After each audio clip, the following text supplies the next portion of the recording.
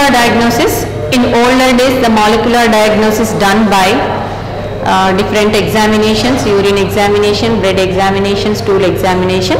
But in uh, uh, uh, serious condition it means uh, when disease symptoms are appeared then only the tests or diagnostic tests are taken. But before early days early diseased condition also we uh, we uh, we know the um, hmm, diagnosis. How the diagnosis is going on means that is possible by the molecular diagnosis. So here one test that is ELISA.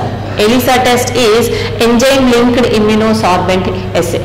So the antigen the causative agent releases the antigen proteins when the antigen proteins are interacted with the antibodies okay? So according to that interaction between the antigens and antibodies according to that the ELISA test is uh, dependent okay? So enzyme linked immunosorbent assay. By using of this test so early detection is done. Next PCR test. So in HIV test so um, AIDS, AIDS patient, suspecting AIDS patient, so they gone to the HIV test. Uh, the HIV test uh, very little amount of the DNA sequences of uh, HIV viruses. ELISA is based on the principle of antigen antibody interactions.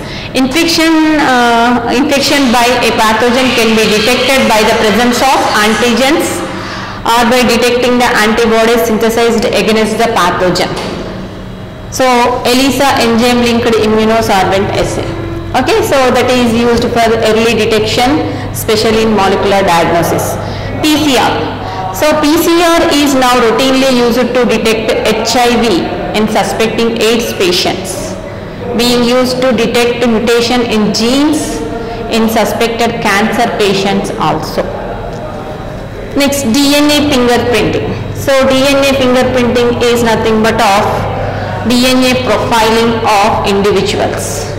DNA profiling of individuals are, it is an application used in forensic science to detect the criminals and also solving the parentage of disputes. Okay, so like molecular diagnosis helpful for the identification of diseases, identification of um, genetic abnormalities and also they are uh, used in forensic science to identify the criminals and also solve the problems of parentage.